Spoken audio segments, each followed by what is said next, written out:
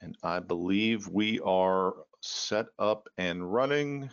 We look to have um, uh, 200 online. They look to be pouring in rather quickly now. You can't even keep up with the count. So we're just going to kick it right on off. Good morning and happy Tuesday to everyone. Uh, I hope all is well with you and yours where you are. Today is Tuesday, January 19th. It's yet another crisp day here in North Florida. I was this close to uh, firing up the fireplace, and then I said, "Well, I'll just bring my computer in there, and I'll have the fireplace over my shoulder like Jim Nantz at the Masters, and just say hello, friends." But uh, welcome to this, the 56th session in our little webinar experiment, the 2020 FDOT Transportation Symposium webinar series. Um, today, we are going to be hearing from Mr. Acey Roberts, the Traffic Operations Division Manager for WGI, and Mr. Glenn Havinoviski, the Transportation Technology Lead for WGI. And then we're going to be talking about smart work zones. Uh, this session will focus on how connected and autonomous technology is being integrated into construction work zones in Florida and beyond. It's going to be good. All attendees will be in listen only mode for this webinar. Please submit any questions you have to the question dialog box. We will attempt to answer questions at the QA session at the end of the presentation, so stay on for that. It is our intention to record this presentation and post it to the Transportation Symposium website.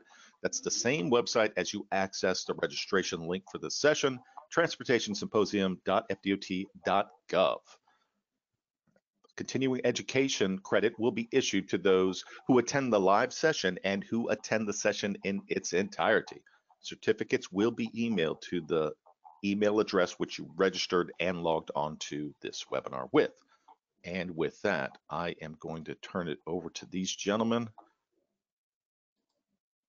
and we'll kick it on off. Mr. Roberts, do you have, there it is. All right, I'm gonna mute on out and I'm here if you need me, or I'll talk to you at the end.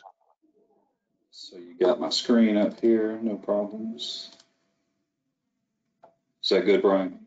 Yes, sir. We see your desktop. Okay, so like we're gonna uh, talk outside about, Spaceship Earth. yeah. So we're gonna talk about, uh, smart work zones today. Um, again, I'm Acey Roberts, uh, with Wantman Group, uh, leading, uh, our Tismo team, uh, here in Tampa. I'm joined by Glenn Havinoviski with our, uh, traffic technologies team. Uh, he leads our national office, uh, in Virginia. Wanted to talk a little bit about just just the, the history, just a short background of smart work zones, uh, go into some of uh, some some you know spotlight projects, show the current state of practice. Definitely want to hit the future technology is really the focus of this. To what's coming next, what, can we do here in Florida going forward uh, to take advantage of all the great technology that we've already started to implement here along our highways, and, uh, and, and you know what maybe some other states that might be listening in uh, what they can do uh, as, as well as what Florida can do for policy uh, recommendations or possibly changes uh, to accommodate that in the future. So most everybody on the line would understand, uh, you know, smart work zones fairly well, but for those that don't, uh, you know, smart work zones are becoming smarter work zones and will probably soon be some version of a connected or autonomous work zone. Uh, but the general definition remains the same. In order for work zones to be smart or to be intelligent, uh, it's really important that there be, uh, you know, provide real-time information. To, to you know, the detection is really important to be able to, to have the detection of vehicles and, and motorists in the right location, uh, to have enough of that detection so that you can, you know, ad adequately uh, measure and know what's going on on the, on the interstate system, and then to be able to respond to that. Um, that also is vitally important that, that know, that the, those devices are portable. Uh, as lanes change and as phases of construction changes, you know, you've got to be able to move those things around and, and to be able to put them in the right place. Uh, needs to be automated. You know, these systems can't really rely on, on human operators to make decisions in real time. Some of this, you know, these decisions and these messages and the, and the uh, signal timings or, or VMS messages have to be pre-programmed and pre-decided, uh, you know, to be able to kick off based on either speed or volume of traffic or, you know, potential incidents or accidents. You know, that has to be automated so that they can uh, provide quick information to the public and quick information back to the to the agency's operators. And certainly, it has to be reliable in order for uh, the public to to really you know, use the information and to respect the information, you know, they've got to know that, that it's right. A lot of the motorists that travel through these work zones are going to be doing so once or twice a day.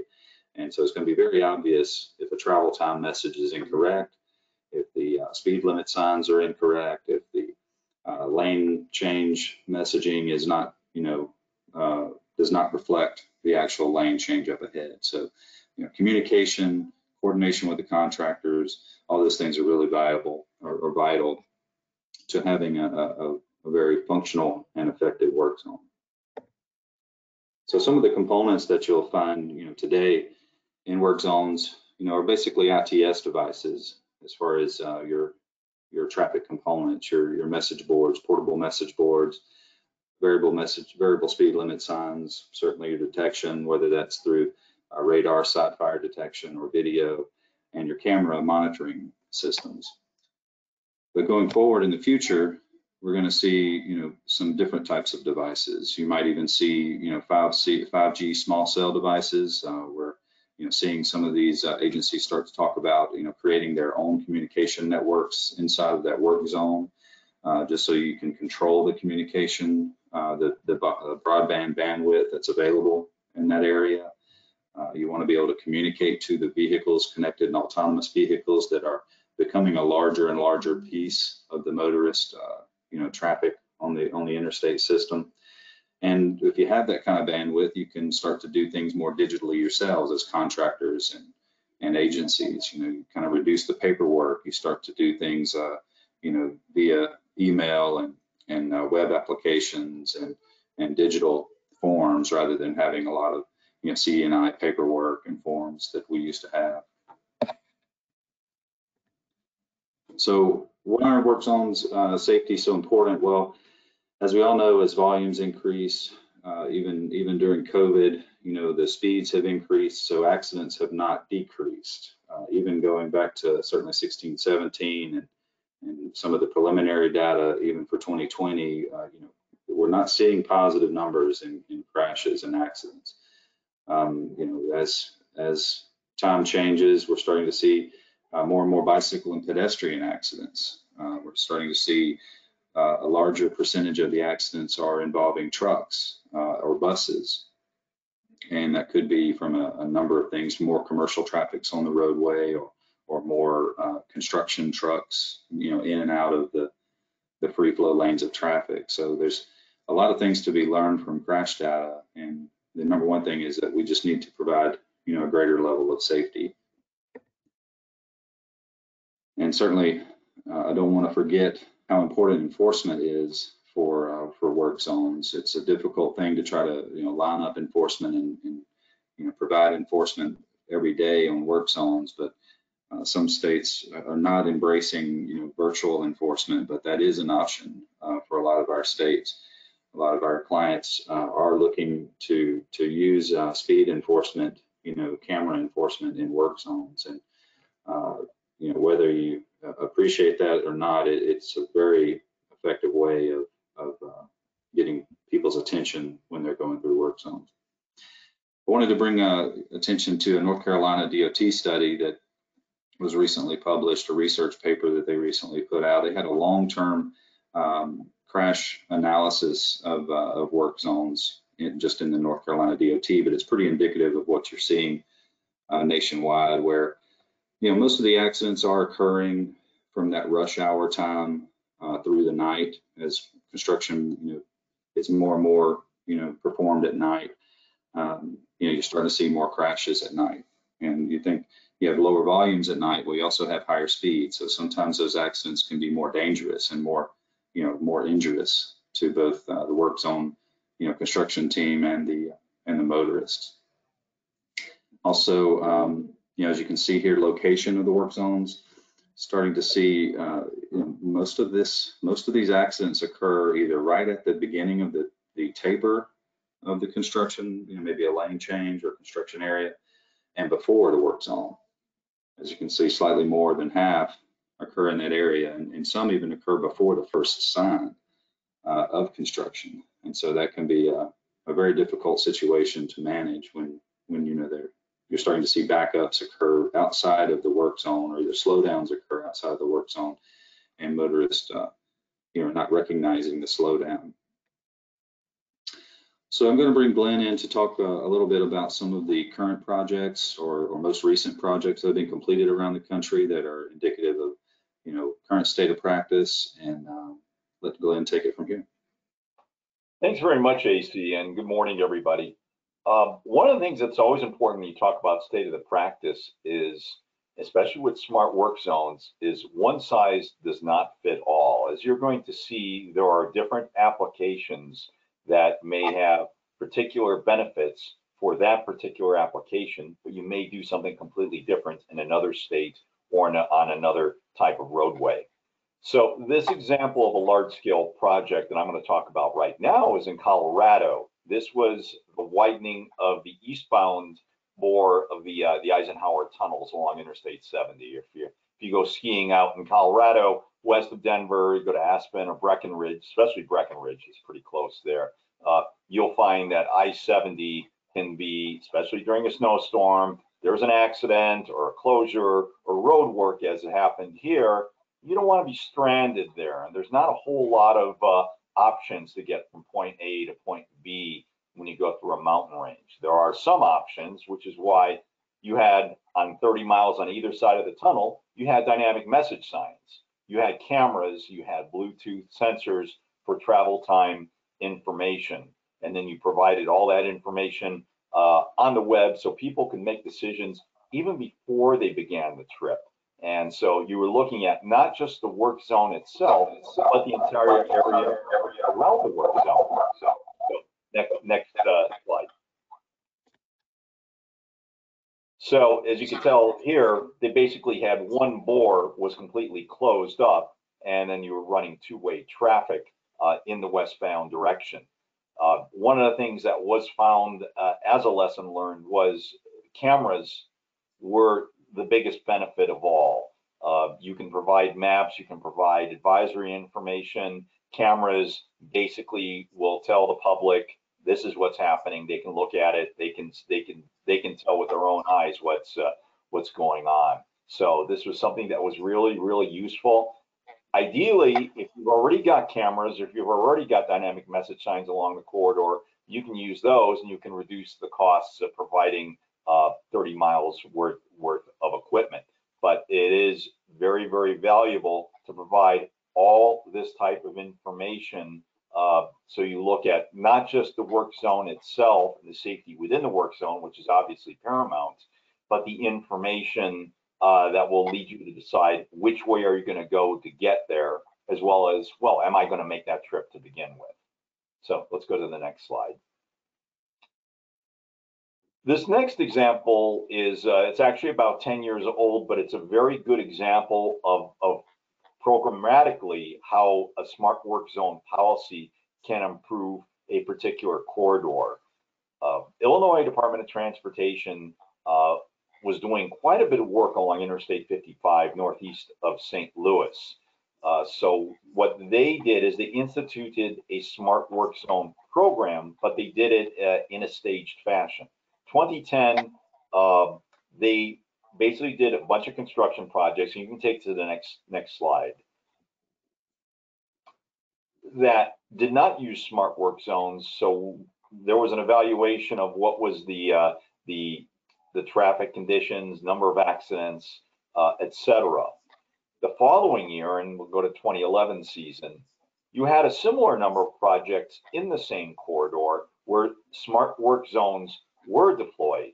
And so you saw the statewide program, which included uh, dynamic message signs, queue warning, cameras, uh, and other and other detection. And they followed federal guidelines for implementing smart work zones with a real-time information. So on the next slide, we can see what the benefits were. And one of the things that's very important to begin with is that between 2010 and 2011, while you had the same mileage of, of construction, you had a lot more lane closures in 2011 than 2010, uh, 540 days worth of lane closures. As a result, you actually had many more vehicles that were impacted by the work zone and by the construction. So you had about 25% more vehicles that were exposed to the construction.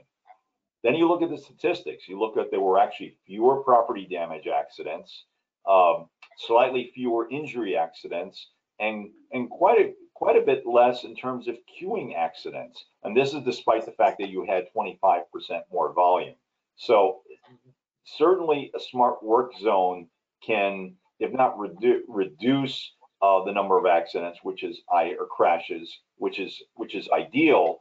Um, it certainly is going to uh, keep things under control versus normal conditions, and will minimize uh, as much as possible the exposure of workers to vehicles. Protects the work zone, also providing real-time information for alternate routes if you've got a significant amount of congestion. So this was an example, 2010, 2011, uh, where here, here is the direct result of implementing smart work zones. So next. This next project is one that I had some involvement in uh, in, in many of the early stages uh, in, in, my previous life. This is a, a project done in Orange County, California, that has a lot of similarities to a project in Orange County, Florida called Ultimate I-4. Uh, this is the Interstate 405 freeway in Los Angeles. Uh, the ADT of this road in the north end is about 400,000. No, I'm not adding an, an, extra zero. There really is 400,000 ADT on the north end of I-405. And then the, the less crowded part of the corridor is 300,000 ADT. So you had basically one HOV lane in each direction, and then you had four to five mixed flow lanes. They added another mixed flow lane on the right side, and they added another lane on the left to create two express lanes in both directions. It is a five-year long project and involves interchange closures. It involves closures of the entire directions of the freeway at particular points. So just doing a standard work zone, just monitoring what's going on is just is just not going to cut it. You need to be able to manage the operation in real time. Keeping in mind also that Caltrans District 12 has a very elaborate uh, traffic management system along every interstate highway, including ramp metering at hundreds and hundreds of locations in the district, uh, as well as along Interstate 405, meant that you had to maintain some kind of traffic, real-time traffic operational capability, even if you were ripping the detectors out. Part of what was done was relocating CCTV cameras to the newer location so that you can use CCTV cameras, but where you can't relocate the traffic sensors because of the construction, you use information from third parties. The INRIXs, the, the HEREs, the Googles, and the Wazes of the world provide an awful lot of information that's very useful. Travel time data, as well as uh, where incidents are located, where the bottlenecks are located. And uh, if you look at the next slide, uh, one of the things that you are able to do is combine the data into a, a single database. And in this case, they used a, a, data, a traffic analytics system uh, that could actually combine the data so that you could consolidate the information both from the sensors that were working as well as the, the live data you were getting from different sources. And then you could utilize that information, look at the trends and determine whether or not you needed to divert traffic onto other freeways. And if you're familiar with Southern California, uh, although it can be a congested mess, one of the amazing things is people also travel 30 or 40 miles and you can actually use alternate freeway to get from point A to point B. So effectively, this interim operation system was integrated with the real-time traffic management that was being done elsewhere in the district so that you got a long-term smart work zone in place because of the length of this project but you're using you've got still got real-time data flowing through this system. So you can provide the appropriate queue warning information. You can provide the appropriate alternate route information. Next and in the case of Pennsylvania Turnpike, as you can tell, safety is a big concern, uh, especially for moving operations. So the Pennsylvania Turnpike saw an opportunity uh, to look at connected vehicle technology. How can they communicate work zone information to vehicles right before they approach the work zone. Give them a quarter mile so they can they can they get the immediate information and can act immediately on it. This is a case where you're not looking at alternate routes. You're looking at here's here's a moving operation in a rural stretch of the turnpike. Uh, here are some smart work zones that you need to put up uh, on sections of the turnpike where you may be doing widening, you may be doing other work, uh, but you may not have uh, the practical ability to divert traffic. So providing queue warning information, providing warning information that there's a lane closed up ahead and here's the action you need to take was something that they wanted to do. So this was about two, three years ago that Penn Turnpike did this. They equipped uh, the, their maintenance trucks. They had the truck with the arrow board on it, as well as the cones and everything else. Uh, they equipped it with an onboard unit that had both DSRC uh, and cellular V2X capability. There were about 20 test vehicles that they had in their fleet that also had onboard units that could receive the. So there were really two, there were two resources for information that that that existed. One was being able to provide the information inside the vehicle using uh, the uh, the safety message that was transmitted via the onboard units. The other option was using cellular V2X communication to communicate with a cloud server. That cloud server communicated both with Penn Turnpike's own software called TripTalk, as well as Waze.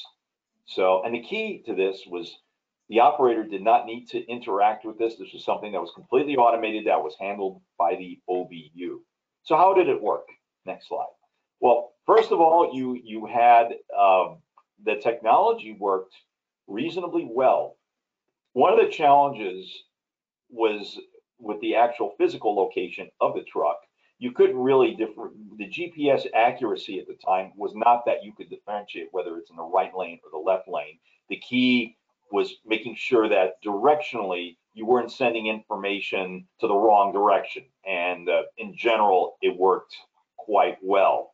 Um, it took a few months for Waze to have confidence in the data that was being provided from the truck, but eventually, about five, six months after the, the testing had begun, Waze was beginning to utilize the information from the trucks using the standard interface that was being developed at the time with the Illinois Tollway and with the assistance from Federal Highway Administration.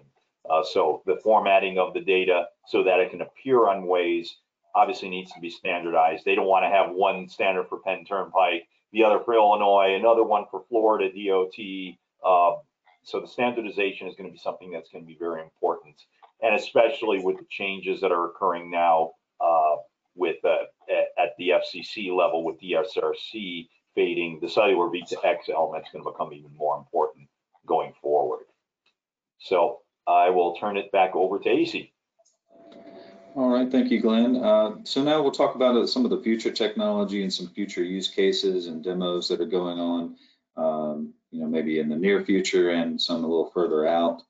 Uh, some you'll be familiar with as Florida is doing, uh, some of the cities and the agencies, uh, districts are doing some of the SPAT testing right now and, and interfacing with uh, Audi as well as other manufacturers. Uh, Virginia DOT did this uh, in a work zone recently and developed this using Qualcomm's onboard units and, and roadside units to, to provide um, you know, signal phase and timing information along arterials and parallel routes of work zones um, to you know attempt to uh, reduce you know the time and delay through signalized corridors. As you are probably familiar with this this is, can provide a pretty big uh, advantage for for traveling platooning traffic through uh, work zones if they you know have an idea about when uh, signals are going to turn green or turn red and it just helps shave off a few seconds, you know, at the beginning and ending of some of these cycles.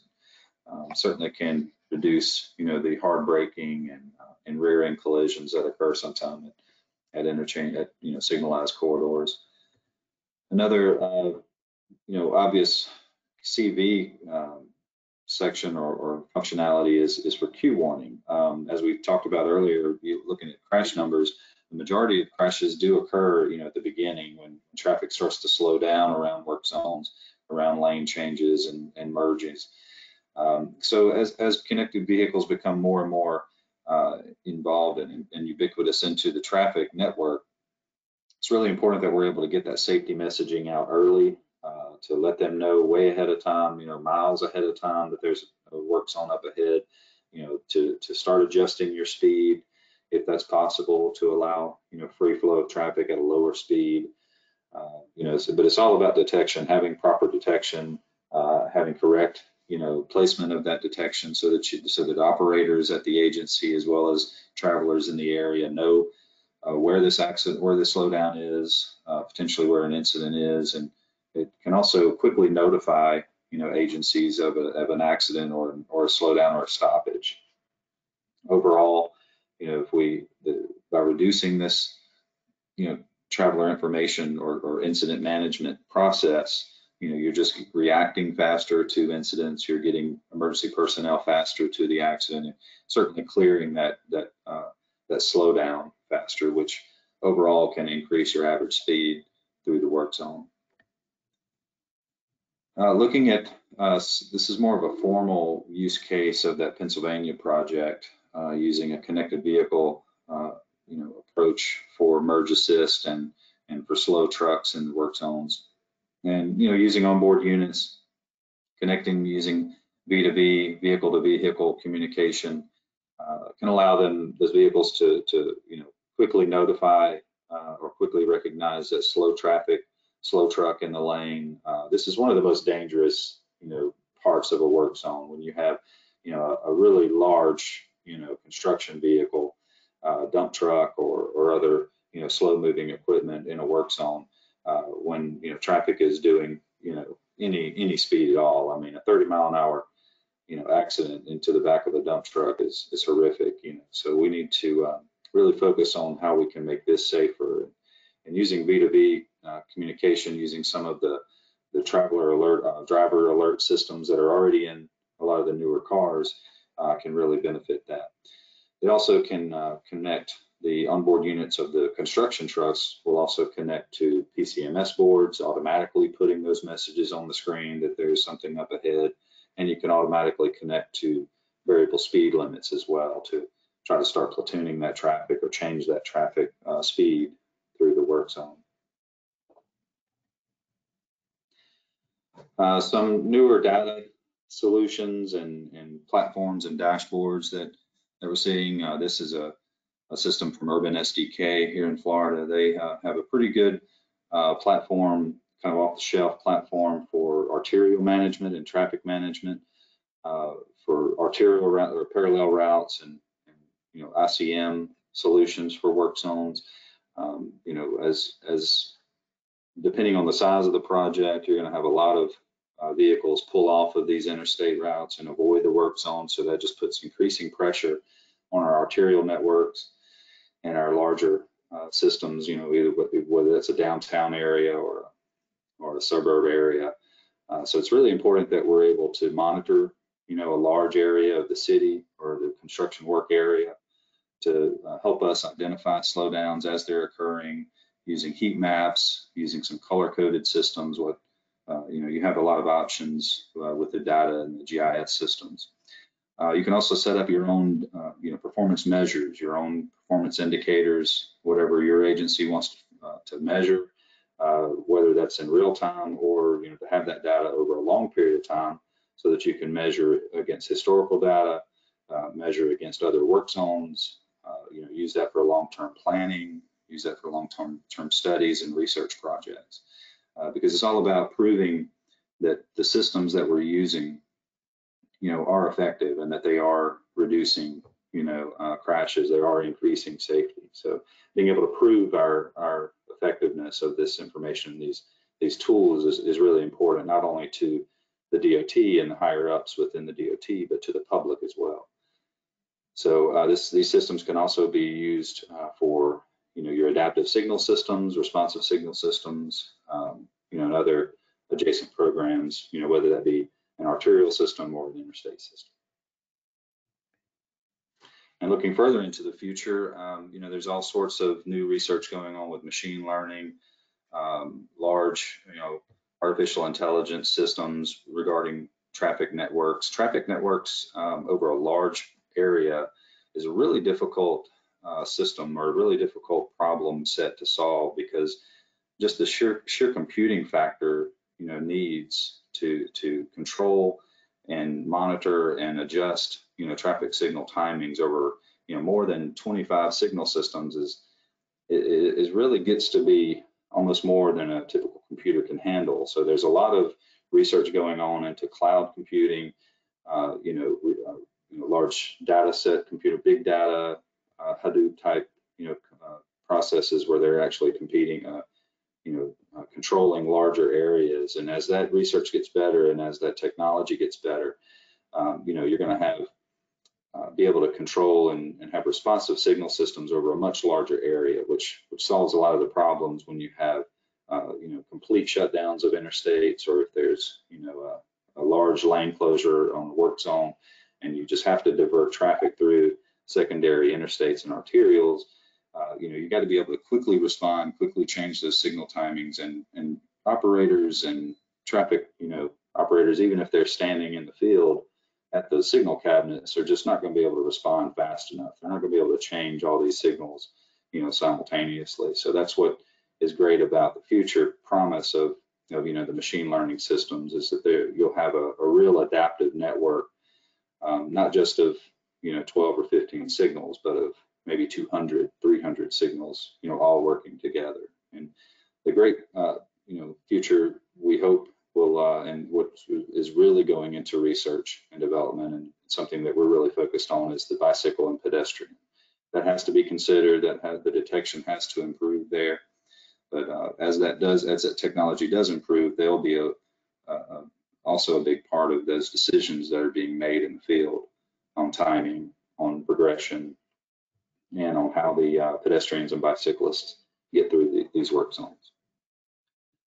So there's a lot to unpack here and a lot to discuss um, for the for the state agencies and, and, communities that we work with. So I'm gonna let Glenn talk about a little bit more specific on how we can get from you know the future technology and all the cool safety tools that are available to how we can actually see this start uh, you know being implemented in the field.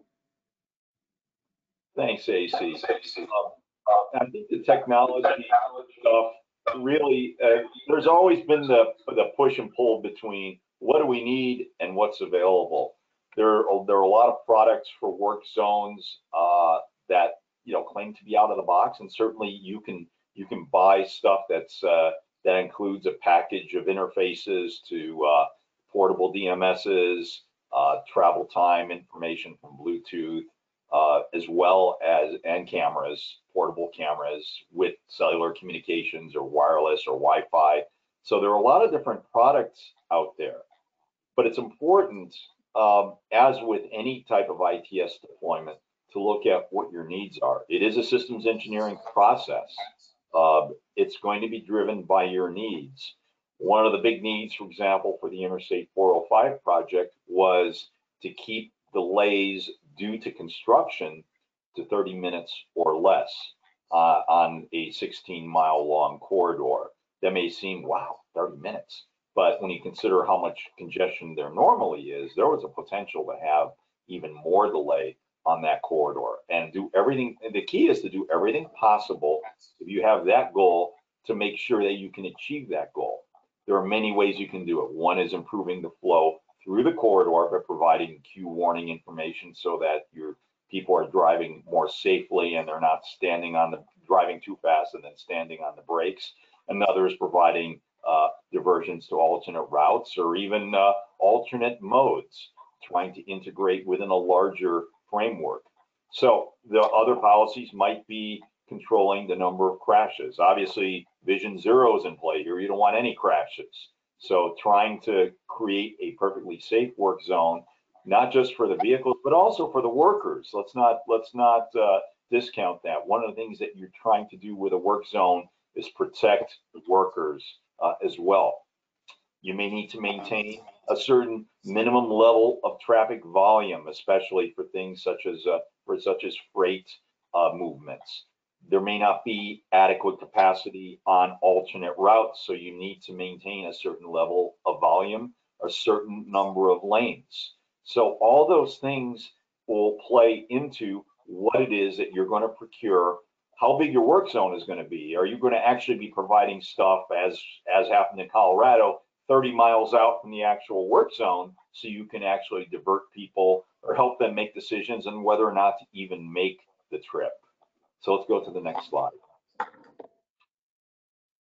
SHRP 2, uh, NCHRP SHRP 2 came up with a, uh, a 400 page document called Strategies for Work Zone Transportation Management Plans, where it basically identified what are the things that you need to do to incorporate into a smart work zone plan.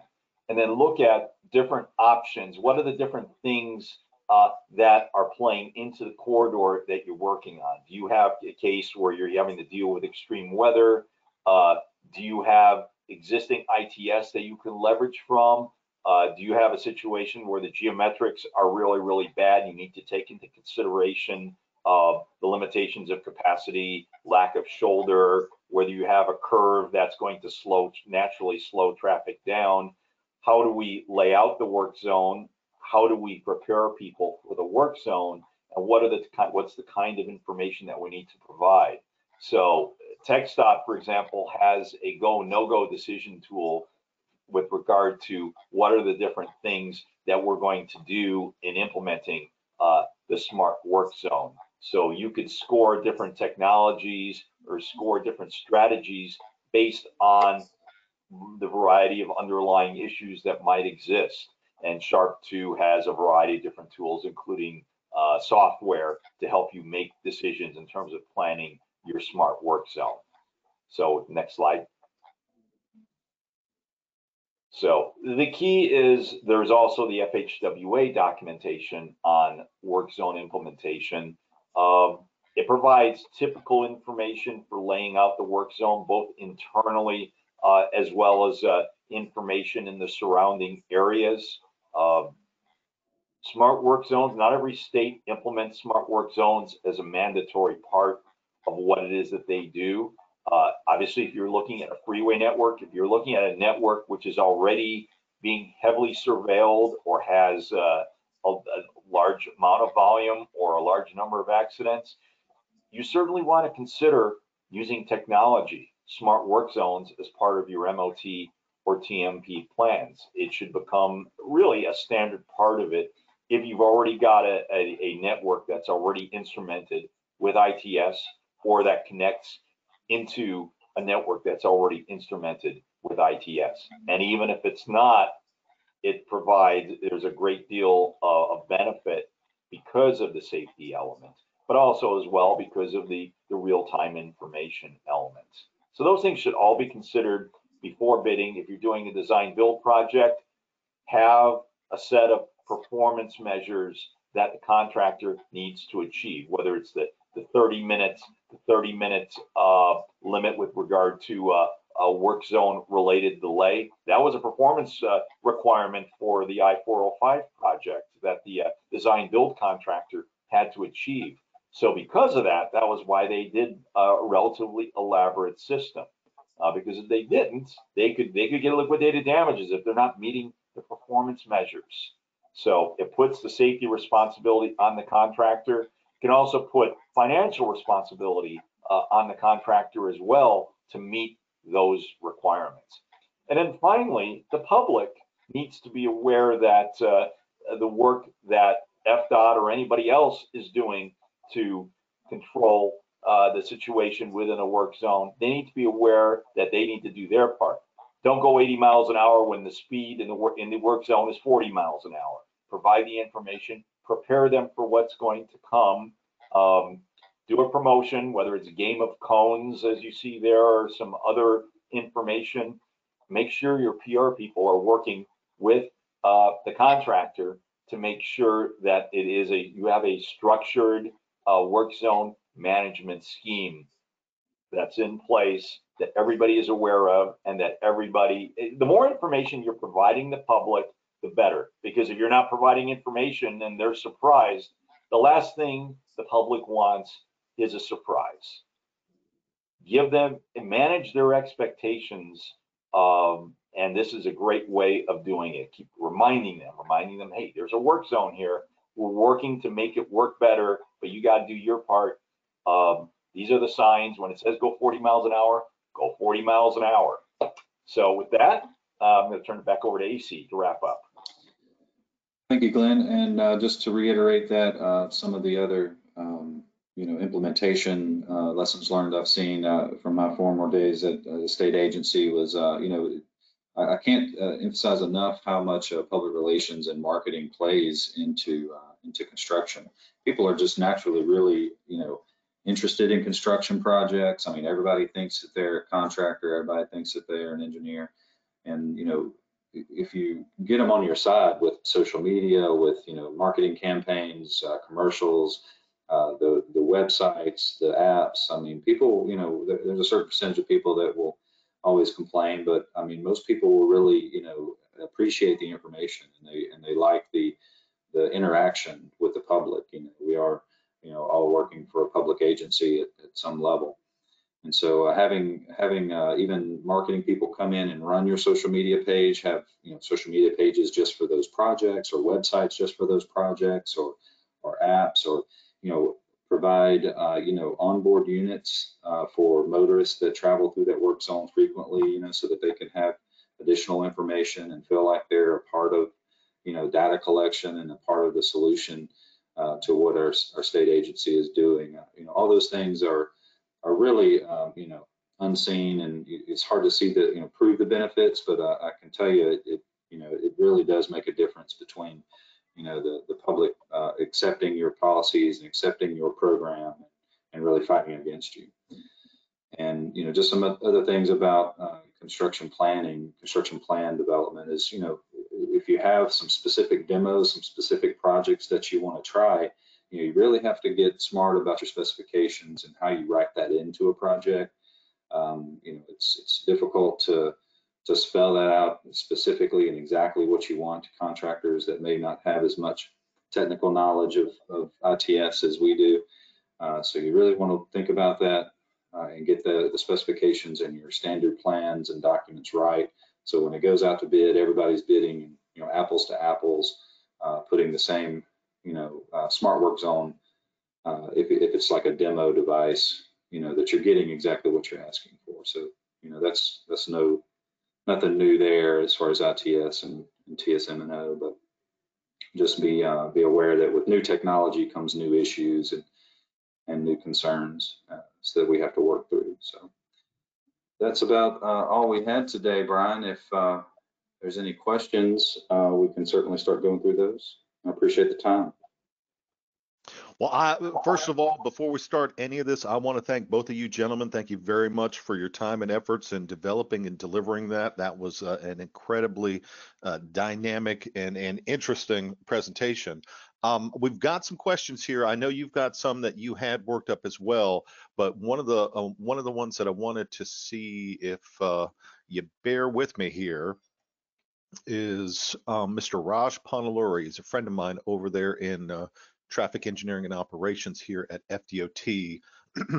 he sent me a uh, he, wanted to try to get on the on the mic and I apologize I apologize to Raj. Uh, the way that I've set this up, I can't just open mics up to attendees, but he wanted me to see uh, talk about smart work zone initiatives statewide here through FDOT. And I'm just going to read this little thing off real quick, and then we'll get on to your uh, Q&A. Uh, FDOT Traffic Engineering and Operations Office has advertised a request for information, RFI, soliciting industry response to SWZ technologies.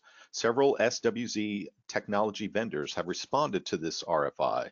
Later, the central office organized vendor presentations to the FDOT engineers across the districts. FDOT central office and district office are collaborating to develop a work zone action plan that will also contain the SWZ, SWZ elements.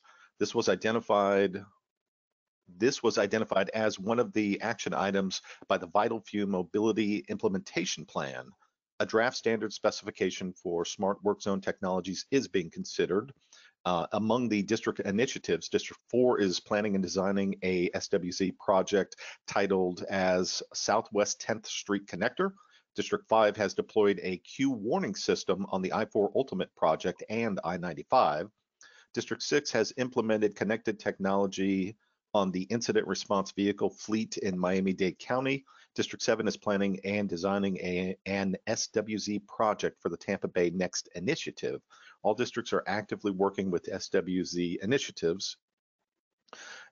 Outreach and interactions, FDOT is working with FTPA, FTPA, apologies, and other leaders to improve safety of workers in the work zones. That's good. FDOT is deploying emerging technologies for the vital few, improving safety, enhancing mobility, inspiring innovation, and fostering workforce development. FDOT welcomes you to work with us to improve the safety in work zones. Thank you, Raj Ponnaluri. So that was all of that. Good stuff. A lot of good stuff, people working with SWZ. Uh, one of the questions coming up here, um, are the courts upholding virtual camera enforced speed violations that you know of? It's a, it's a state by state issue. Um, certainly, you know, this is a legal issue that has to be worked through each state and each jurisdiction. Um, and, it, and there's a lot of factors, legal factors into that. I can't really say for Florida, you know, how that has, has developed or not developed, but uh, it's just uh, something that has been tried, whether that's through a work zone or through you know, municipalities around the country. And from from uh, some of the you know results we've seen, you know, it, has been you know it's hard to to deny the benefits to to safety. You know, I know people don't necessarily like uh, getting a bill in the mail, but uh, it, you know, from a safety standpoint is really what we're discussing. Good deal.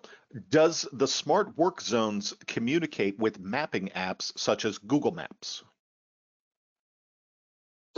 Glenn, feel free to jump in, but uh, certainly they can. Um, you know, some of the cities and, and, communities around Florida and other states are starting to incorporate their mapping systems in with like Waze or Google or other features, uh, you know, other apps that are available out there.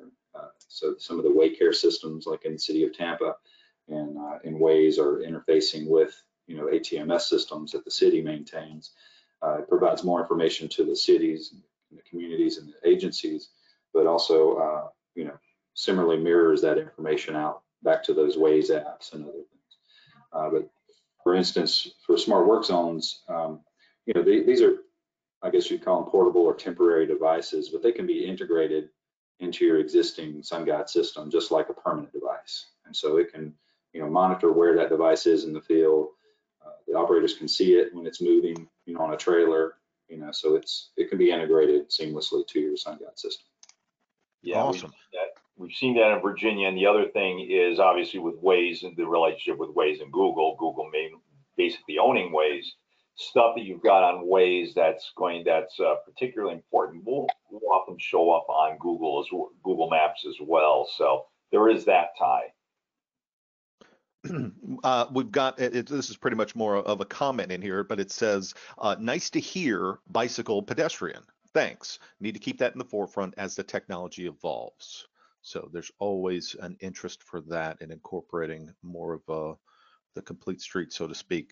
How receptible or capable are you finding the contractor community is deploying SWZs, heavy civil, MOT operators especially? Uh, in my experience, I mean, they're certainly willing to do it or, you know, willing to, to, to do anything that they are asked to do. Uh, you know, it, it just depends on how you write the specs. A lot of times these specifications are written to give the contractor a lot of leeway on what they provide. And so when you're talking about large design build projects, you know, large construction projects that are low bid price arrangements, uh, you know, you're not going to get the most robust, you know, technology systems, the most expensive technology systems that, that maybe you want without specifically spelling that out. And so, uh, you know, contractors are very familiar with getting sub-consultants in if they need, uh, you know, they need some knowledge that they don't have on staff. I don't think that's a problem. It's just, you know, it's just about winning the job though, right, to these guys. So, so Glenn, in your experience, Performance, it's all about the, the performance-based specifications. You don't, you don't necessarily tell people that you need dynamic message signs, portable or whatever, because anybody can provide the technologies. It's how you use them. And so you need, you need to have a strategy behind it and to, in order to meet the performance measures. So that strategy is what's important.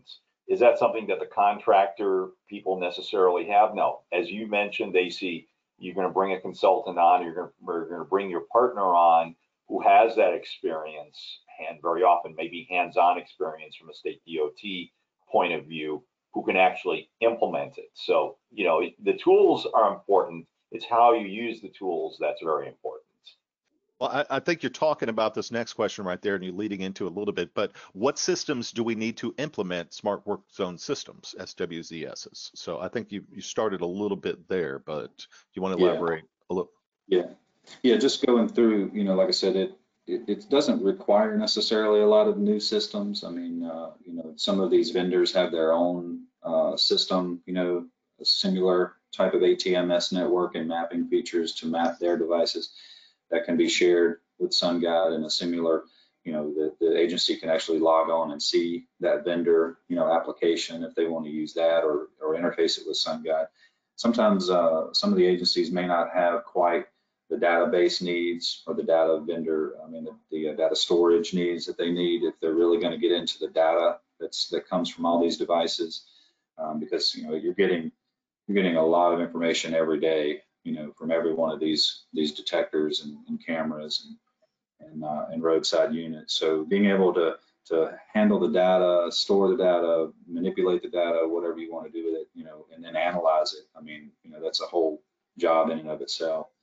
Um, you know, but you know, make sure that you just go through your your typical systems engineering analysis. I mean, you know, there's a lot of things that you might need. Uh, there's a lot of things that you might not know you need until you start, you know, the, the work zone up. So it's important that you go through a, a real needs analysis and a real formal process in the planning stage to make sure you figure out your weaknesses, you know, and all your strengths before, you know, you start putting things on the free- on, the freeway.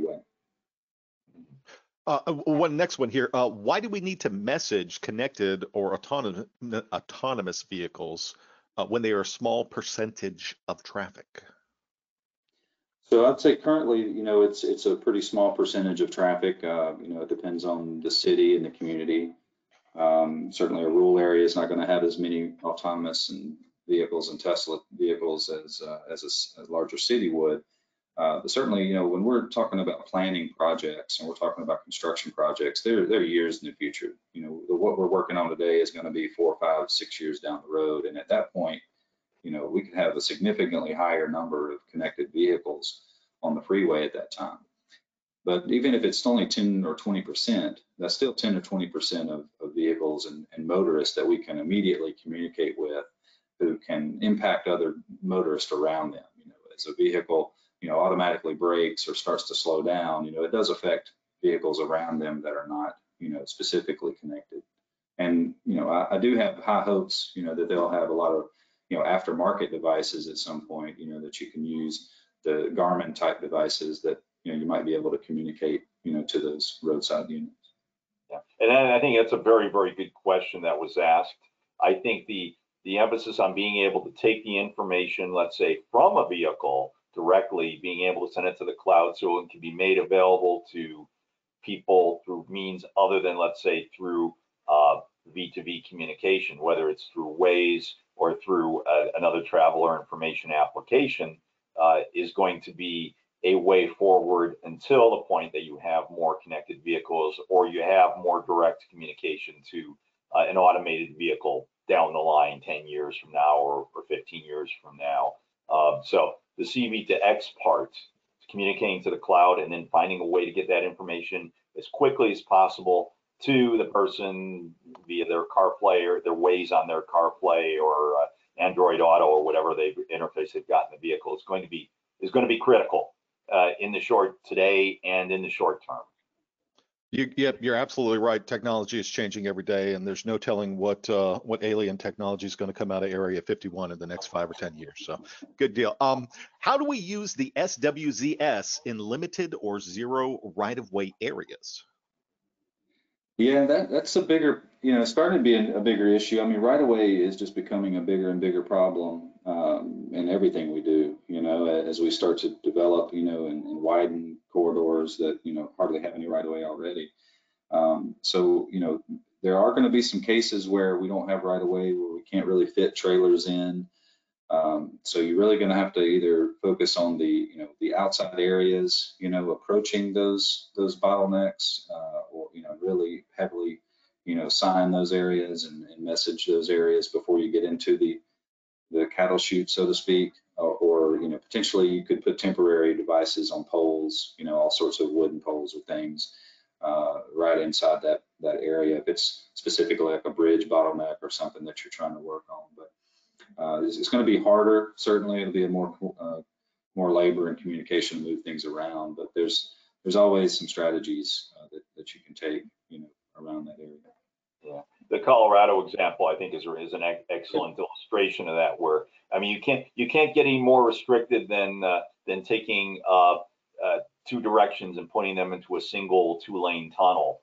Um, so that can't get very more limited than that. And so you you basically had to provide information much further away. You need to provide uh, alternate routes, provide the signs so you can divert traffic when you absolutely need to uh, so they don't get stuck in there uh, at, at, you know, be, when it's too late. Uh, so I, I think that does directly impact how you do your work zone. You're not just worrying about what's physically happening in the work zone, you're worrying about getting too many vehicles into that zone to begin with. All right. Um, how will FCC ruling on DSRC affect future smart work zones? Yeah, Glenn, you want to you want to take that one? Yeah, and I think that's uh, first of all that that's going to have uh, a great deal of impact on what a lot of people thought was going to happen, which was that you were going to have all these vehicles were all going to be able to get live data from whatever was happening at the side of the road, whether it's other vehicles or whether it's uh, traffic signal information. Um, it's the information can still be achieved with the uh, technology that's emerging with cellular connect, but the latency is really the big issue. So you're not going to have the immediate vehicle to vehicle information for a long time.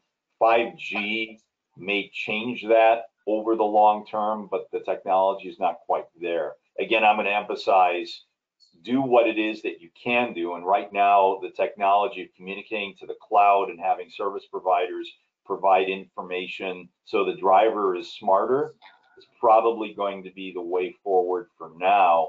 And then as the technology evolves and you and you, begin getting the low latency technology that might be achievable with 5G, then you can look at some of the stuff. So yes, the DSRC uh, being taken away as an option by FCC uh, is a is a step backwards, and I'll say it right out. It is a step backwards.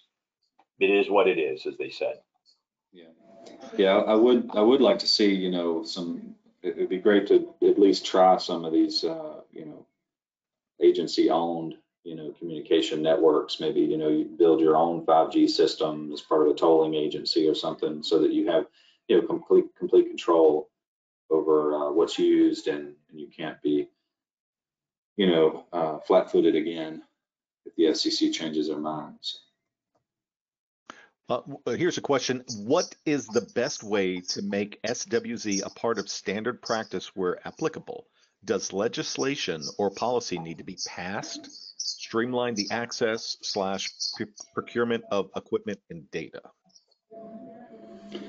Um, you know, I, I, would think it's just like in any other uh, work zone or, or ITS system. Um, certainly, when you get into enforcement, there's some legal issues and congressional issues. You know, certain signage, uh, maybe VSLs require you know some some legislative uh, discussion. But um, by and large, I mean, you know, it just follows typical ITS approval process. Now, um, I'll be the first to tell you that there's a lot of uh, work on issues, you know, works on safety devices out there, and they don't all, you know, really accomplish what you want to accomplish. You have to be aware that you know these are vendor-based uh, solutions, and so sometimes they're selling you a product that you know is beneficial for them. It doesn't necessarily work for your type of, of, of volume or your level of, of, speed of traffic. I mean, you have to be, you know, do some due diligence and some you know demonstration projects to sort of prove, you know, what works best for your state and your area of the state. You know, but So, I, I mean, I think just like we've all, we've done in ITS in the state as a whole, is it, it's a process. It, it takes a little bit of a, a testing and learning and improving, you know, to get to that full implementation. If you have a statewide goal or objective on what it is that you want to achieve, whether it's uh, with, uh, you know, zero, you know, a vision zero type objective, or whether you want to manage, uh, say, the duration of delay, a lot, again, tha- that's, that's performance related, but if there is, if there is a statewide policy you want to implement, that's always a good way of kind of forcing the issue, if that's something that, uh, that one believes is needed to improve, improve the use of, of, or increase the use of smart work zones. Good deal. Um, just, I know we're getting close to the time. Uh, there's just a couple of more comments here, and I like to try to uh, be inclusive to all the voices that we can. Um, this right here, the city of Tampa and FDOT District 7 are actively deploying WayCare as part of the FDOT City of Tampa ATMS project. So that's a, a statement. Then um, we have another one here says, as an update, the 2014 WZITS Implementation Guide will have a new appendix published in 2021 that includes fact sheets as well as draft specifications for each of the nine technologies listed on the workzonesafety.org website. So apparently people trying to get information out there. Gentlemen, I really appreciate uh, your time and, and participation here within uh, our symposium webinar series. Keep in mind the 2021 uh, symposium webinar series will be uh, going on in this format as well. So if you want to get in, there is a link on our on our website to submit your uh, topic. Um, other than that, thank you for your time. I'm going to close out, let you guys say your goodbyes, and then we're just going to shut it on out for the day. All right. Thank you very much for your time. Thanks, everybody.